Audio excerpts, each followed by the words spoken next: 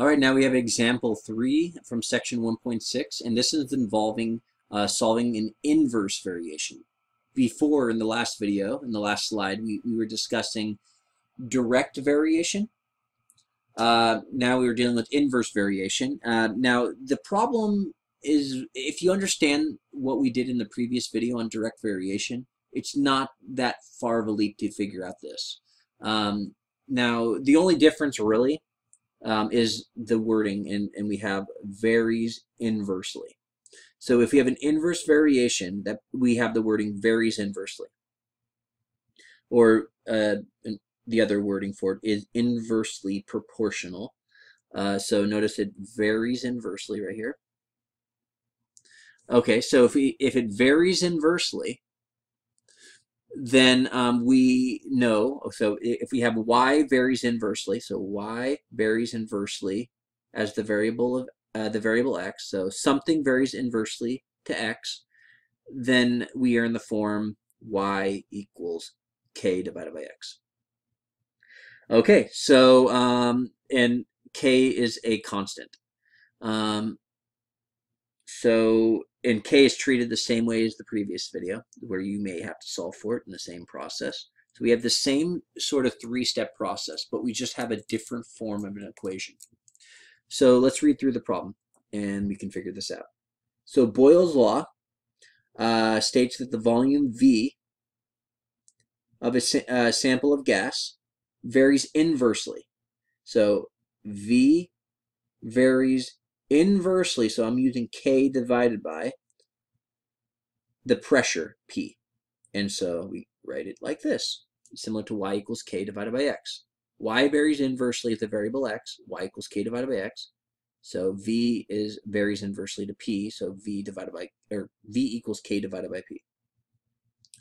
So, um, similar to the three-step process from the last video, we found the equation. Now we need to plug in um, the given information, which would be V and P to solve for K. So the volume of a gas in a J-shaped tube is 75 milliliters. So 75 and we plug in the value, the pressure, given pressure is 1.5. Okay, so we know that when you have 75 milliliters um, volume, we have 1.5 uh, atmospheres of pressure. Find the volume of the gas when the pressure so uh, is 2.5. So we want to find the volume, but first we need to uh, solve for K. In this case, since we have an inverse variation, we have something on the denominator. So we need must multiply to get it out of the denominator. And that will give us K equals what is now uh, 1.5 times 75, which is 112.5. So we can plug this back into, into the equation, um, our value for k. So it's 112. Since k is on the numerator, we write it up there. So we see it up there, and we, we're still dividing by p. So all we've done is substituted our value for K. Now we can solve the, the question. Find the volume of the gas when the pressure is increased to 2.5 atmospheres. So we want to solve for volume, V, and we have 2.5 pressure, P, the um, atmospheres. So 112.5 divided by 2.5.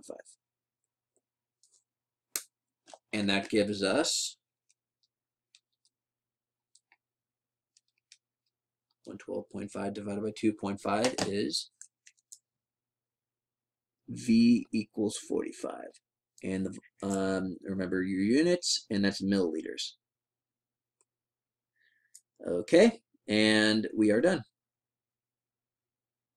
All right, as you can see, it's the same. I didn't use three colors this time. I should have switched over um, right around here. But um, there's this same three-step process that we've discussed in the previous video. And that's it. Um, so again, as mentioned in the previous video, you may be asked to solve for K, you may be asked to solve for different things, but this is the full process. All right, let me know if you have any concerns.